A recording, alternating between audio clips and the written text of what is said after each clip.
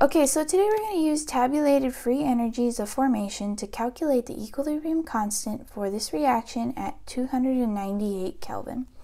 So in order to find the equilibrium constant, the first thing we're going to do is find the delta G of reaction. And we're going to do that by multiplying the moles of each product by its delta G of formation and then subtracting it by the moles of each reactant multiplied by its delta G of formation. So the delta G of reaction is going to equal 2 moles times the delta G formation of NO2 gas minus 1 mole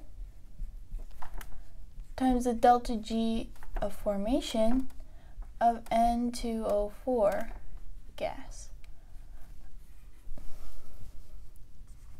So the delta G reaction equals 2 moles multiplied by 51.3 kilojoules per mole minus 1 mole multiplied by 99.8 kilojoules per mole. Plugging this into our calculator, we get the delta G of reaction equals 2.8 kilojoules, which also equals 2,800 joules. Now we're going to use this delta G to find K. So we found that our delta G of reaction equal 2,000 800 joules.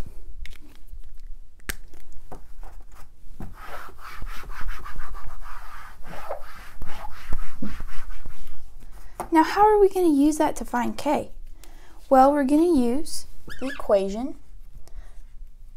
delta G of reaction equals negative RT ln K. We can rearrange this by dividing each side by negative RT.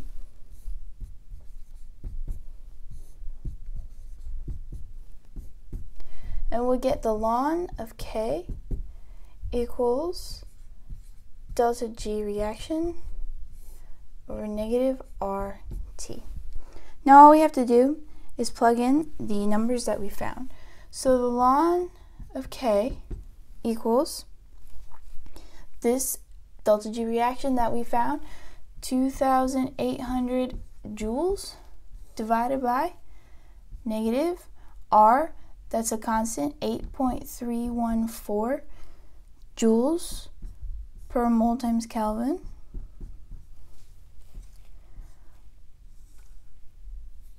Multiplied by 298 Kelvin. Plugging this into our calculator, we get the natural log of k equals about negative 1.13.